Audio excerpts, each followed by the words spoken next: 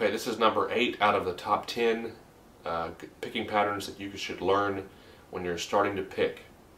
Um, and we start with finger picking because that is the um, first step to being able to pick with a with your actual pick or just um, picking with thumb picking or being able to sing and pick um, or even be able to play chords. We don't want to focus on chords right now. We want to focus on the right hand.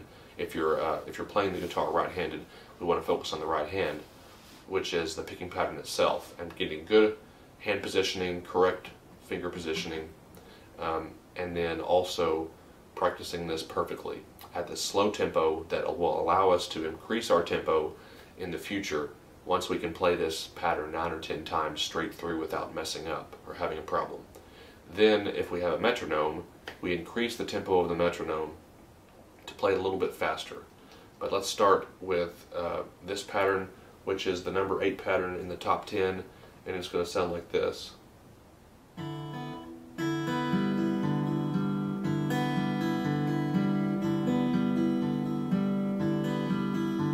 This is without, of course, playing a chord.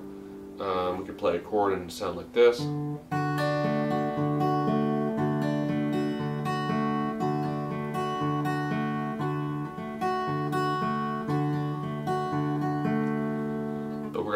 Without first, just to isolate this hand. So it's going to sound like this. 4-1 together. 4-1 together, 2, 3, 1, 4, 1, 3, 4 1 together, 2, 3, 1, 4, 1, 3, 4 1 together, 2, 3, 1, 4, 1, 3, 4 1 together, 2, 3, 1, 4, 1, 3.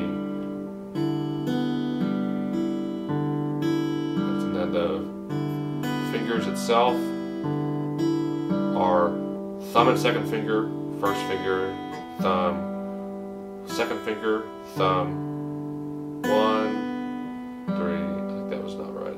See, thumb and second finger, first finger, thumb, second finger, thumb, second finger, thumb, like that. So,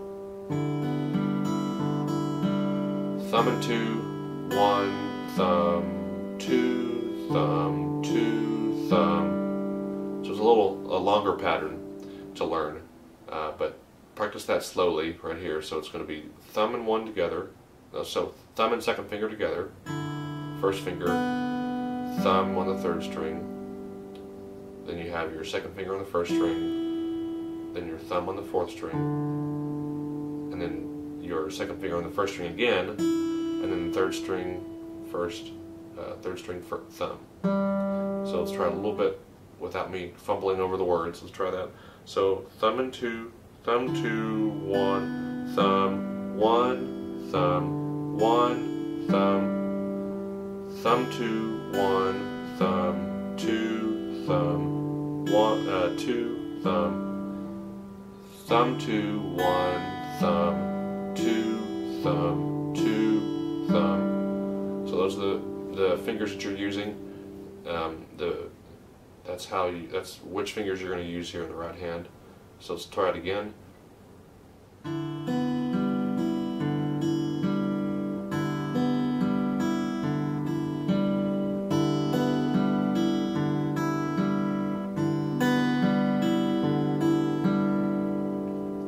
Now if you're using a metronome, you're going to tap it on the downbeat, which is uh, the eighth note. It's going to be one, two, three, four, one, two, three, four, one, uh, one, two, three, four, one, two, three, four, one, two, three, four, one, two, three, four, like that. You're actually skipping one eighth note in this pattern and it's the very last eighth note after the fourth beat.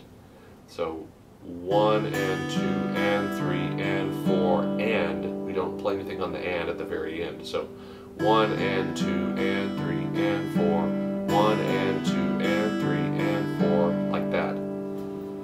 So that is the eighth pattern. We're going to play the fifth five string pattern now. We're going to scoot our fingers down one string remember we kind of assign our fingers to certain strings in this pattern. So we actually keep the thumb on the fourth string and the third string, and our first and second fingers go on the second and first string in this uh, pattern here.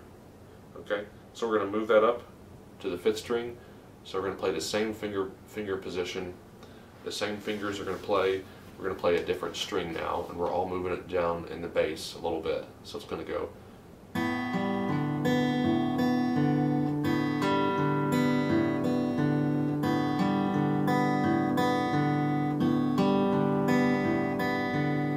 Five, two, three, four, two, five, two, four, five, two together, three, four, two, five, two, four, five, two together, three, four, five, two, five, two, four, five, two together, three, four, two, five, two, four, like that.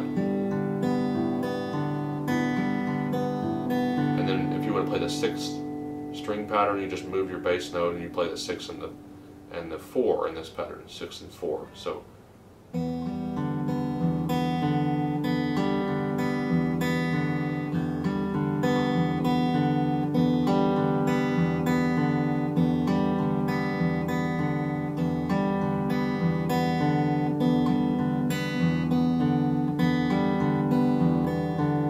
thing about these picking patterns is each one, when you're playing a six string bass note, you can actually alternate the bass. You don't have to play the 6-4. It's just good to start that way.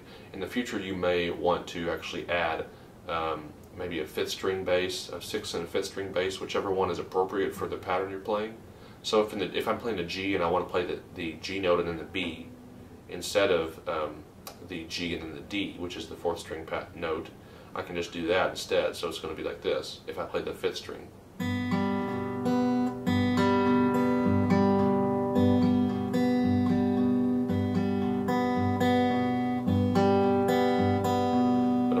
D and then bass note.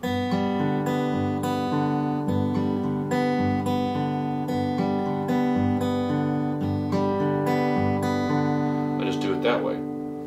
Okay, so let's play um, all that together with the D starting, then go into the C to the fifth string pattern, then the G and the uh, sixth string pattern. So D starts with me one, two, ready, play.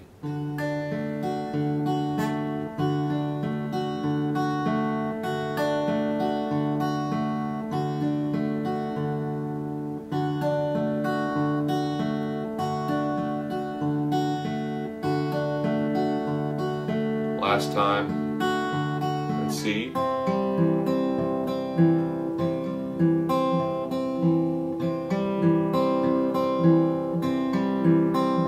And G. 6-4 in the bass. And that's how it'll sound. Um, and we'll now go on to the next lesson, which is lesson uh, number nine for next week. Um, I'll see you then.